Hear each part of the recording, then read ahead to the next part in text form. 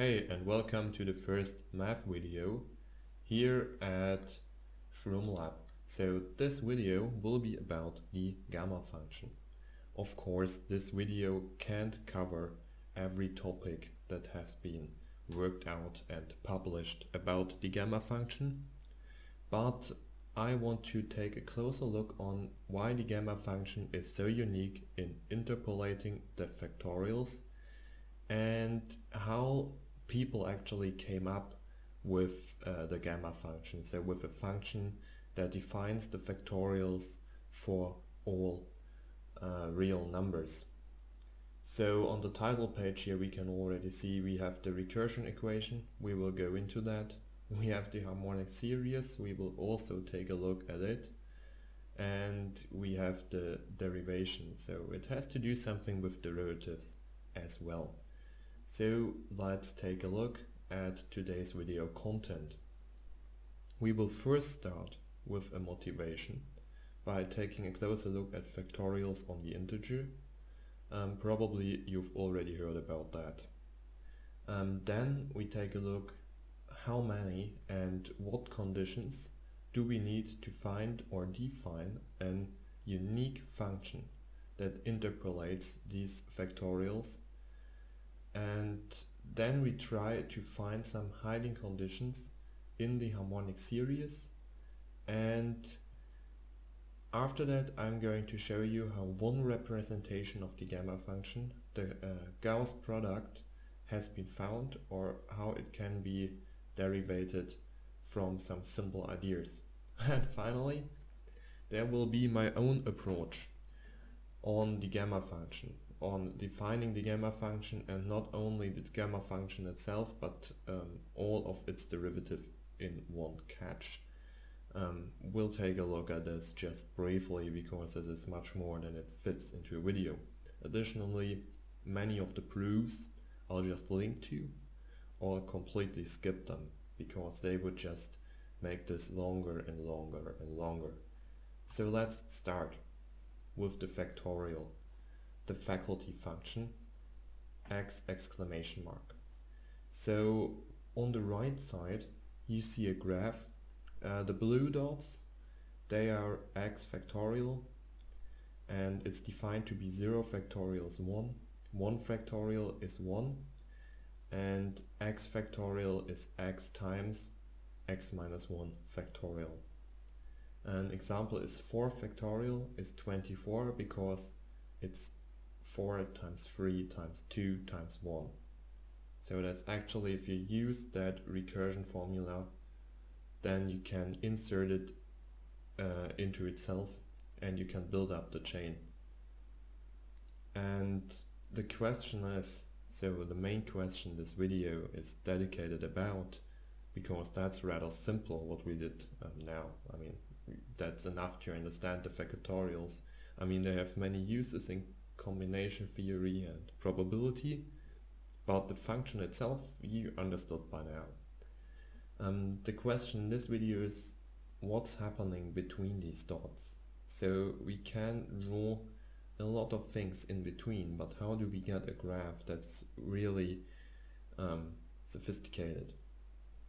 And before we start with anything, I just want to bring up um, a different recursion formula that's a bit nicer to handle and it's defined as g from 1, 1 is equal to 1 and g from x plus 1 is equal to x times g from x.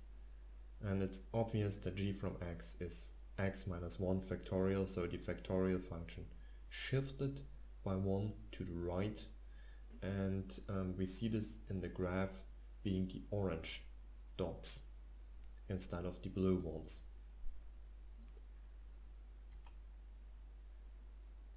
So now we can start over and take a look at how we could interpolate this.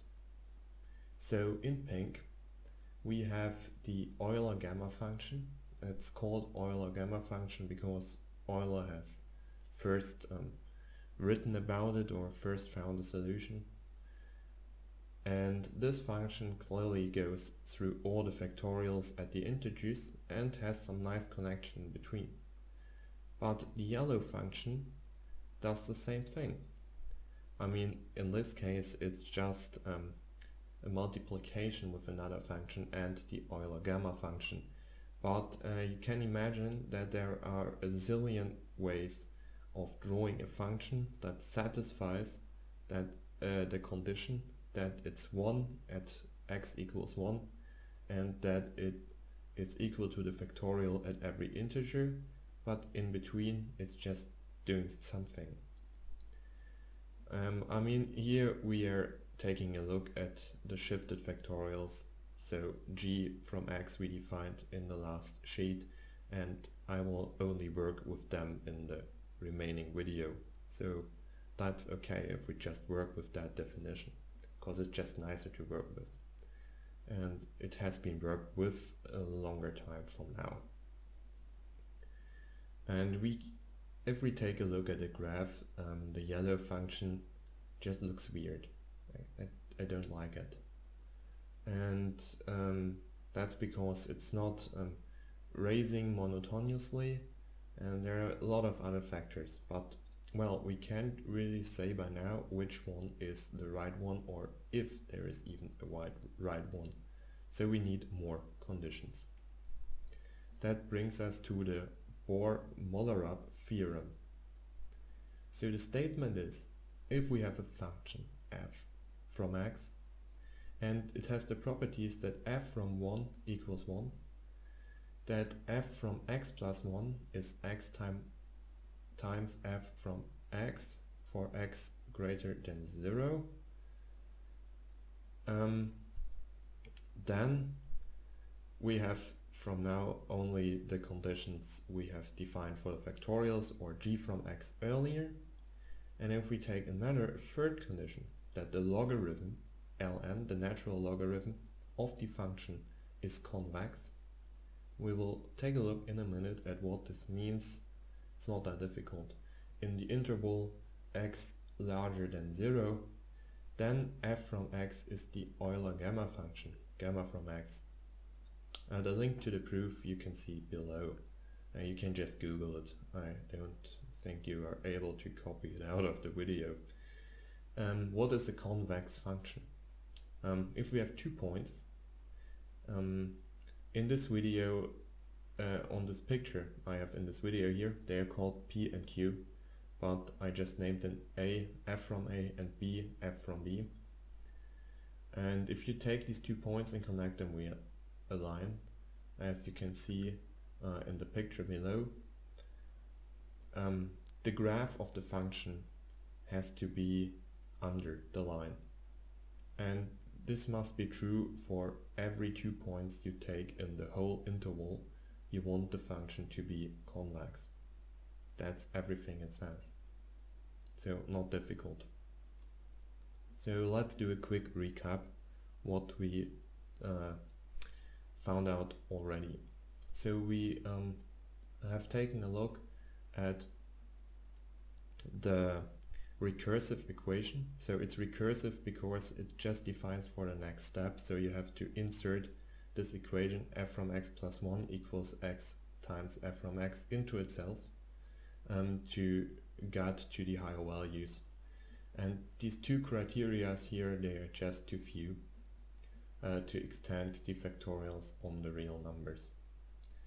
And um, an add-on to the convex uh, theory is that if the first derivative is rising continuously, which means that the second derivative is larger than 0 in the given interval, then f is also convex. So that's just another criteria for convexity.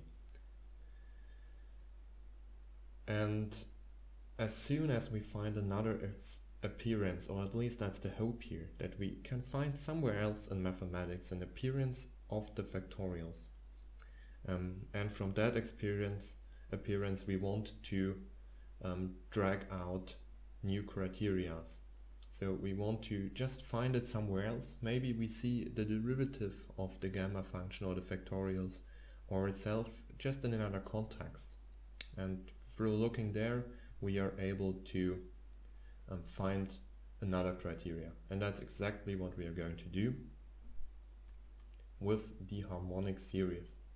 So there is another video, actually the second math video on this channel will be about the harmonic series and all its derivatives. But for this video you just need to know without any proof that 1 divided by 1 plus, plus 1 divided by 2 plus 1 divided by 3 and so on till you get to 1 divided by n. Um, the sum of these inverse natural numbers is called the harmonic series and that there is a short short-term expression for it which is the derivative of the gamma function from n divided by the gamma function from n plus 1 divided by n plus the Euler-Mascheroni constant which is denoted gamma here. And that's called the harmonic series with h and being a harmonic number. We won't take a look at the proof here. So h0 is obviously 0 because of the empty sum. And the harmonic numbers are rising continuously. Just simple without a proof. There are definitely proofs uh, to do this. Um, only positive terms are added, so the second derivative will be always positive. Well, you can't really talk of derivatives here, and it's all a bit more complicated than it seems, but it's all uh, I want to cover here. I don't know if I refer in the next video back to this, but uh, you can prove it easily yourself for example with uh, integral representation and there are many others. A consequence of the quotient between the first derivative of the gamma function and the gamma function itself rising continuously is that the logarithm of the gamma function has to be convex. And no matter what gamma function we use here, um, it really doesn't matter which gamma function we use in the factorials, uh, this clearly pins it down to be the Euler gamma function. Every other we use we might think of, every other way we might come up with connecting these individual factorials, uh, interpolating them in the real numbers, um, will give us a problem exactly if we come in with the harmonic series. So they really pin down the gamma function to be um, the Euler gamma function which is useful in respect to all the harmonic series. The other gamma function will fail here. The next thing and the last major topic on this video before I come to kind of more experimental and not so solid field is uh, the Gaussian product. This is um, actually a representation for the gamma function which allows you to calculate it for all real numbers in a nice way. So we start off uh, with a very simple idea and that is we take a look at gamma from x plus n where um, x is, is just a number whatever and and and also and uh, we can split this up in gamma from x times x times x plus 1 all the way up to n. So n is definitely pinned down here uh, as being a natural number. And of course we can do the same thing the other way around. So we can take n plus x minus 1 times n plus x minus 2 and so on until we get down to uh, gamma from n. And this is equivalent to n to the power of x. So of each of the individual brackets we can factorize out the n and in combination with the large one, uh, with the last n, we will get n to the power of x and all these brackets where the n has been factorized out. Um, here it's shown in pink, it's not that visible, but um, I guess you'll see it. And finally, um, uh, gamma from n, we didn't change this. And if we take the limit of this from n to infinity, all the pink brackets will go to 1 as the divided by n term will uh, approach infinity and thus drag those extra fractions to 0 and therefore this will all go to 1 so we can state in the limit that gamma from x plus n divided by n to the power of x times gamma from n will go to 1 in the limit from n to infinity. And that's just an equation. And by plugging in the first one it's uh, marked here in orange we can say that um, we can solve this right for gamma from x. And then we get to the final Gaussian product which um, provides this nice uh, limit expression this kind of product for the gamma function from x so if you were just interested in uh, this little brief introduction of the gamma function in its uniqueness, its connection to the harmonic series and the derivation of the Gaussian product, you should quit here. Because now we are going to my own journey on finding gamma from x at the point in time where I didn't know about all of this and I just stumbled across the gamma function after um, my teacher gave me the task uh, to to solve uh, the harmonic series. I mean, we solved in school um, the series of the sum of natural numbers, and he kind of came up uh, with, can you solve this also for the harmonic series? And I thought, maybe. Well, it took three months and I never told him, because school was over then, by then I didn't went to school anymore. Um, but I still want you to take a look at. There are some things I'm not entirely sure about in there. So there are, it's especially one mathematical, I say trick I do, which uh, I'm kind of skeptical if it works, but I'll shout it out then. So my basic idea was develop a Taylor series around 1 um, using the derivatives of the gamma function. I mean, if you um, prove that it has a convergent radius of 1 or a bit smaller, it's not a problem. You can use uh, the recursive equation from earlier to get through all higher numbers. For example, if you have gamma from 0.5, you get 1.5, 2.5. And if you get it in the interval 0, 1, you get everything. And it has another very nice aspect. If you have um, these Taylor series based on derivatives, uh, between 0 and 1 you will get also every derivative of the gamma function. So you will not only get a way to calculate gamma for uh, real values, you will also get uh, with the with the same approach um, equations or series for all of its derivatives. So you unlock the treasure box of the gamma function all at once. And this was especially helpful to me since I was uh, working with the harmonic series, so I needed all derivatives of the gamma function uh, at once. And um, this, of course, uh, the main and most problematic uh, thing to get out of here is uh, the derivative values at 1. So gamma from 1, first derivative of gamma from 1, second derivative of gamma from 1, you can't know them uh, you just know gamma from 1 is 1 from the definition. And finding these is really tedious work, especially for the higher ones. I mean, if you go into, in, into the harmonic series, which I do next time, you will see that there's a pattern emergent, making everything much easier for the higher coefficients, but at least the first one you have to do by hand, because otherwise you don't get the correct values. And the uh, second one you do for checkup and then you can uh, stick to the pattern, but um, the pattern only works for the higher one. So for the first one, you need to do it by hand, and we do this now. And we use only the recursive equation. So um, we just uh, we don't have that much fancy tools. I mean, I did not have that much mathematics at hand at this time. It's I guess more than three years ago that I did this, but I just want to present it to you and it's really nice that we squeeze this out just from the recursive equation gamma from x plus 1 equals x times gamma from x. I hope it's correct, if not please tell me. So first we have that equation, here we use n, gamma from n plus 1 equals n times gamma from n. First thing we do here, noted in orange, we take the derivative of the whole recursive equation.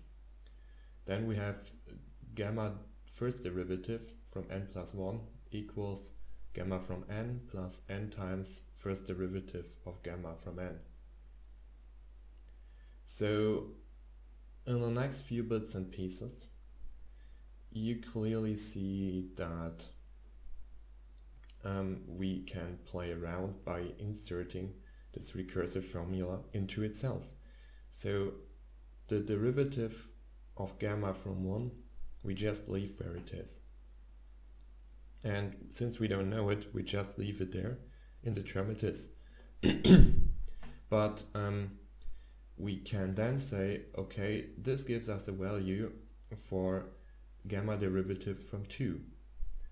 And so we take gamma derivative from 3, which refers to gamma derivative from 2, and insert it again. And by reinserting this recursion formula into itself, we get um, this nice little term here, marked in blue. And by sorting around of it, we can um, take out uh, a lot of these factors and remove all the brackets. And um, finally, we can uh, concatenate it into this nice sum, which shows us gamma derivative from 4 is equal to gamma from 3 plus gamma from 4 times uh, the sum to 3 minus 1 over k equals 1 gamma from k divided by gamma from k plus 1 plus uh, finally the gamma derivative from 1. So it's only occurring once on the left side and once on the right side as a constant. So of course we don't only want to look at this until 4, we want to look at this for n.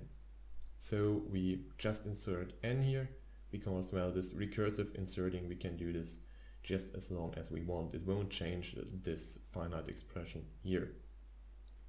And by using the topmost uh, recursive formula for the derivative, we can simplify the left and the right side a little bit.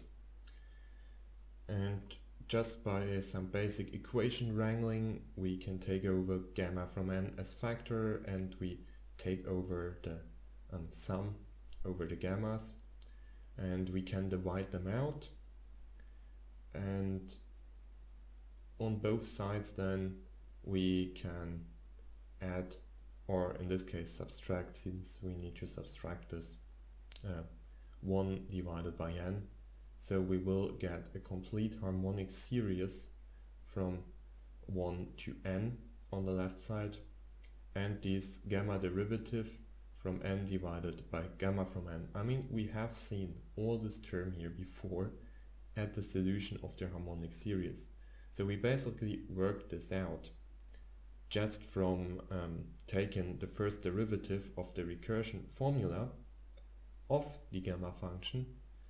We worked here out that it uh, describes perfectly the harmonic series.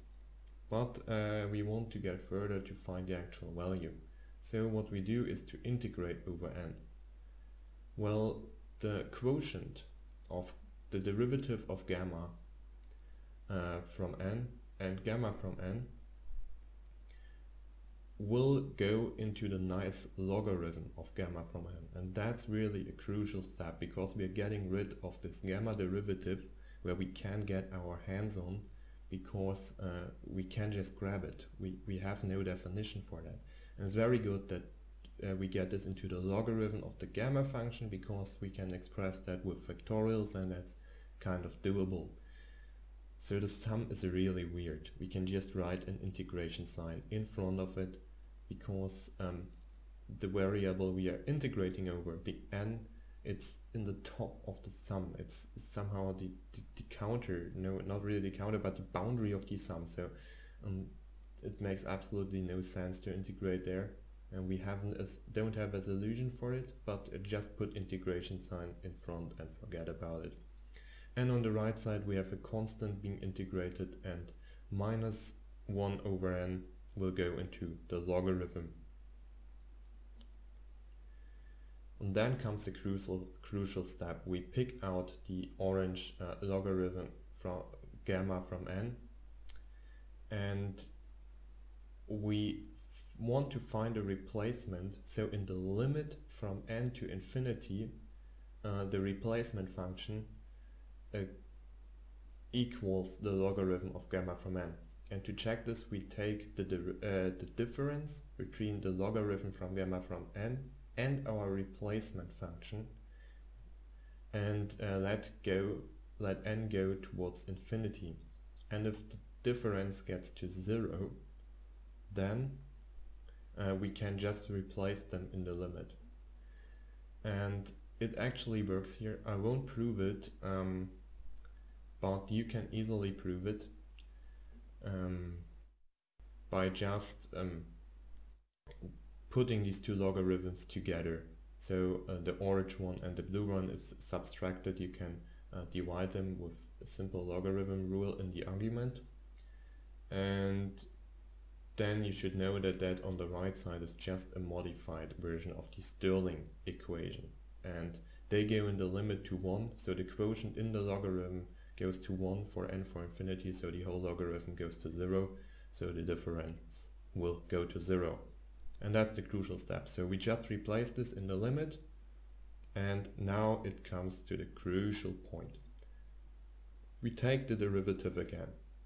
And I have no idea if I can put the derivative inside the limit, but I'm pretty sure that it's possible to um, take the derivative and then pull it into the limit whereas n goes to infinity but this is the only point where I'm, I, I could out ma uh, could make out a potential mistake source. So as we put in the derivative, uh, miraculously the Stirling formula just falls apart into the logarithm of n and this minus 1 divided by 2n. And on the right side of course um, we will get our constant back and the logarithm will go back into minus 1 over n and the sum will just, um, the integral will just vanish over that sum. And since we are taking the limit from n to infinity, all these 1 over 2n and 1 over n, here marked in orange, they just go to 0 and we can throw them away. So in the final we have the limit from n goes to infinity over logarithm from n minus the harmonic series to n. And that's very well known.